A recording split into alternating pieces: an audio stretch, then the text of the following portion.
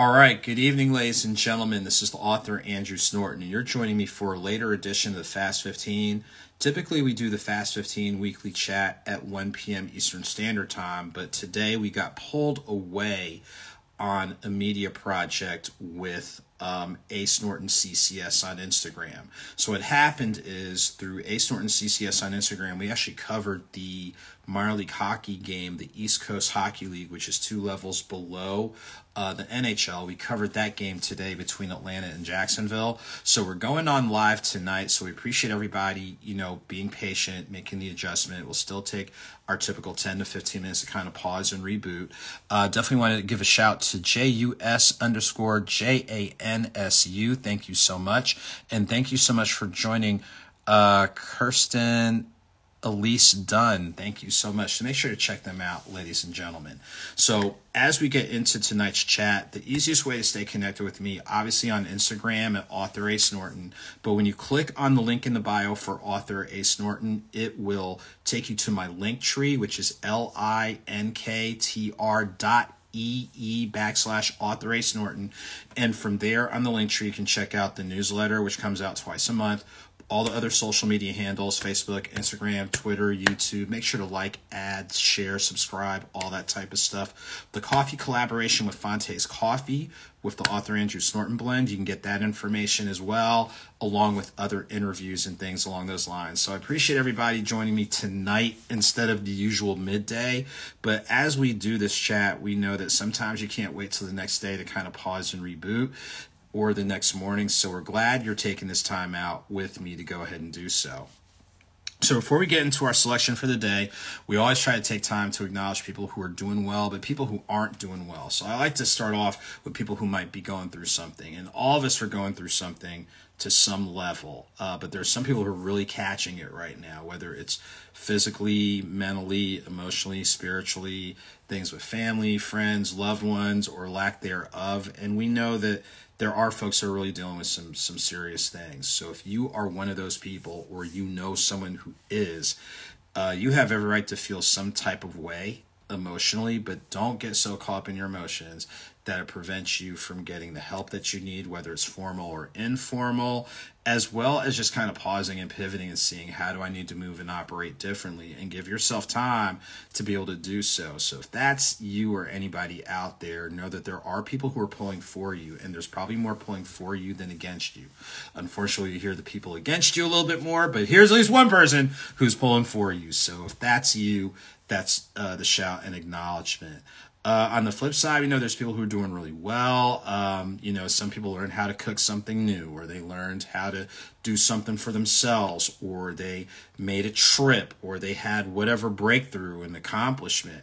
And you have every right to celebrate those things because you know what you had to work through in order to get there. So celebrate responsibly, feed off the positive energy and move on to the next thing. Let's not forget those who aren't doing as well and uh, you know just like anything it's about perspective and and and just seeing things for what they are and and going in as positive direction as possible. So that's the acknowledgments for the people who aren't doing so great and the people who are doing pretty well. And on that note we're going to pause and pivot to our topic or our thought of the day, or however you want to put it. Coming from, I know what a surprise, quotes and notes is definitely a favorite book of mine, not only because I wrote it, but because it gives me some reminders of a couple of things, you know, original quotes that have you kind of pause, pump your brakes, think, reflect, reboot. All of us have to do it. I know I have to do it from time to time. And what have you, just kind of pause and shake things up and, and do something a little differently. So the quote that I'm going to use is something that I had a little bit of a reminder of earlier today, and it's kind of it's serious, but it's kind of comedic.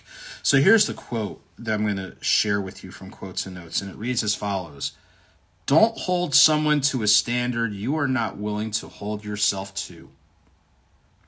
Let me run that back one more time. Don't hold someone to a standard you are not willing to hold yourself to. And so part of it are expectations, like people want people to operate at this level but they accept themselves operating at a lower level. And come on, you just can't do that. It doesn't mean everyone's going to do things exactly the way you're going to do it, but in principle, you know, like they say, treat people like you want to be treated, or talk with people the way you want to be talked with, or deal with people the way you want to be dealt with. And I had a little reminder of that earlier today when I happened to make a phone call on an item that I thought I had squared away a couple weeks ago. And not only did the person act like they didn't know me, but then they were basically like, well, we have a schedule conflict. But the only reason I knew about your schedule conflicts because I called you, even though you knew days in advance. So we all, you know, quote, to varying degrees, do we need to expect ourselves out of other people? Not necessarily, but but is there some type of etiquette or decorum or expectation? Like if I'm holding you to a standard, then guess what? I have to hold myself to that same standard. Um, if I point out some things that quote you're not doing, guess what? I need to point those out as well and i need to be open to having those pointed out so that's something that is universal and it allows us to kind of grow kind of get better kind of take inventory you know watching our tone watching our choice of words watching our actions and i think all of us you know want to be respected and appreciated but guess what in order to get respect you have to give respect so that's kind of the quote of the day don't hold someone to a standard you are not willing to hold yourself to that's one to learn and grow from. From quotes and notes, something is on the horizon. Yes, you can order it online.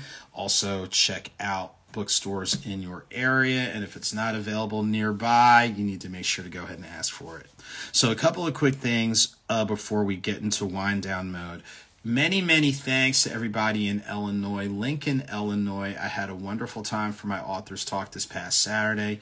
Thank you, thank you, thank you to the Lincoln Public Library uh, for just great staff and great people. And thank you to the Hunt For Foundation as serving as the moderator. We had a lot of fun. We went in depth in detail. It took a little minute, but we've kind of uploaded the full video. So we're going to chop up segments. So if you guys didn't catch it when the Hunt For Foundation streamed it live, you can check it out on my Facebook at author Andrew Snorton and check out the Hunt For Foundation. They have it on their Facebook video. So you definitely want to check them out. Shouts to my friends in Chicago, Illinois at the Family Den. Hey, look, South Side's the best side. Nothing personal, but South Side's the best side. Love the venue. There's great people there, the Black Cheers, for lack of a better term.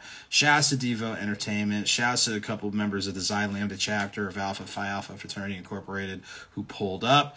Uh, if you're in Chicago and miss me, do not make that mistake again. Shame on you. Shame. There's a lot of y'all. A lot of y'all. So have something for you next time I'm in the city. But definitely shouts to, like I said, the good people I was able to meet in Lincoln, Illinois, as well as Chicago, Illinois always good getting up to um, the Midwest. So thankful and grateful, you know, to everybody who helped make that happen. As for the next time I'm gonna be on the road, I got to figure that out, to be honest with you. But once I do, I will definitely let you know. Hey, a couple other shouts. Shouts to my friends at Fonte's Coffee, they are celebrating seven years this month of being in business. They're amazing people. So if you're in Louisville, Kentucky, check out Fonte's Coffee. Great people doing great things. Those are my collaborative partners with the author Andrew Snorton blend, which right now is a decaf, light roast, medium roast. We'll probably talk about bringing the bourbon infused uh, roast back, but um, yeah, make sure to check them out at fontescoffee.com. And then, of course, click on special collections and you can check me out. I'm trying to think a couple other things. Yes, shouts again as we wore a press and media hat earlier today. So shouts to the Atlanta Gladiators. You know, start off the season strong, had some rough patches, but they're starting to put it together. So shouts to the team for an amazing shootout win by a four to three margin. They were actually down three to one in the third period. And if you know hockey, if you get three goals, you pretty much won the game. But they were down by two goals going into the third period. They tied it, went to overtime. It was still tied, went to a shootout. Which, if you haven't experienced a shootout experience or overtime experience in hockey, you definitely need to. And you can check out the details on Ace Norton CCS on Instagram. Uh, just trying to think what else is on the horizon. Um, I'm sure there's some other things I'm kind of forgetting right now, but I'm sure there's a couple other good things on the horizon that are taking place. Again, Black History Month is getting ready to close out, so hopefully you've been able to partake of any teaching, learning, embracing history. And yes, it, Black History takes place all day, every day, but the month of February is where we highlight it and get ready for March. March is Women's History Month, so we want to make sure that we're highlighting you know those contributions as well not only to our present day but to our history. So shouts to those affinity groups demographic groups gender groups what have you. Thank you thank you thank you. Um, other than that, just thank everybody for their kindness, their support, their encouragement for every reader, book club, bookstore, book festival, special event, and more. I'm certainly grateful for you guys taking time to support me as February 2017 was the very first year that I that's when I released my first book and now four books, five audio books.